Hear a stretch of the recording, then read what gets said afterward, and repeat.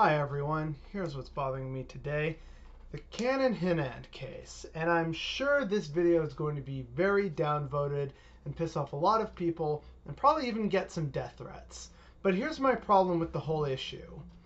They are using the death of this five-year-old boy to try and discredit the fact that there is a problem with racism and police brutality and injustice be not being you know addressed against the black community in America.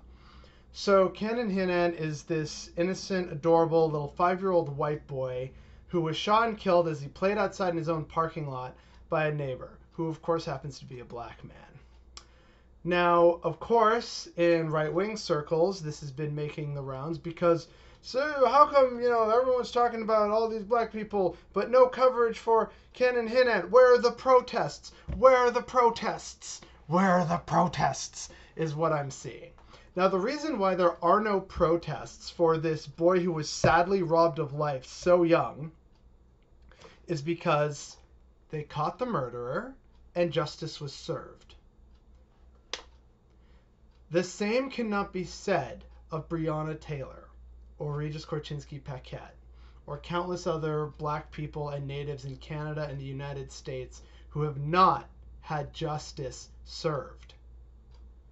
The loss of this boy's life is terrible. It's sad. I cannot imagine how horrified his father must be just having to cradle his dying and bleeding son in his arms.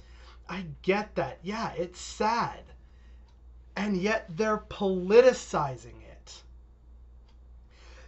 Justice has been served, but it's not enough because they want black people to shut up about injustice. That's what the death of this boy has become for the right wing. And that's what's bothering me today.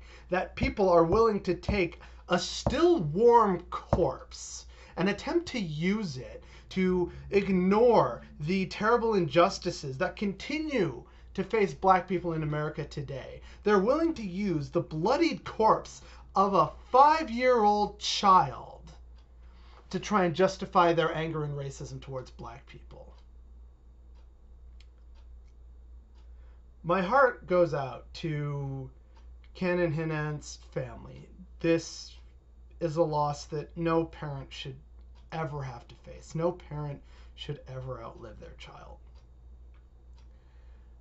And yet, before, you know, the boy had even been placed in a morgue, people were freaking out and claiming, Where's the justice?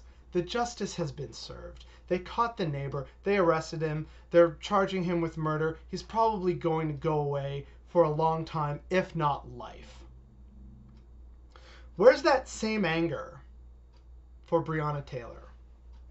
Where is that same anger for Aiyana Jones?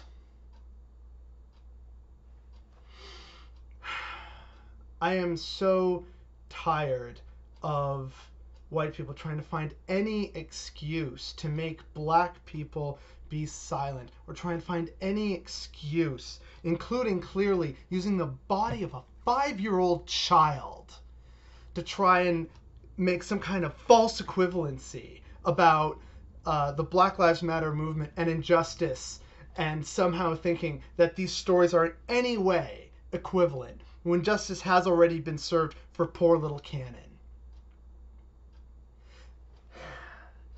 You don't want justice. You want justification for your racism and bigotry. And that's what's bothering me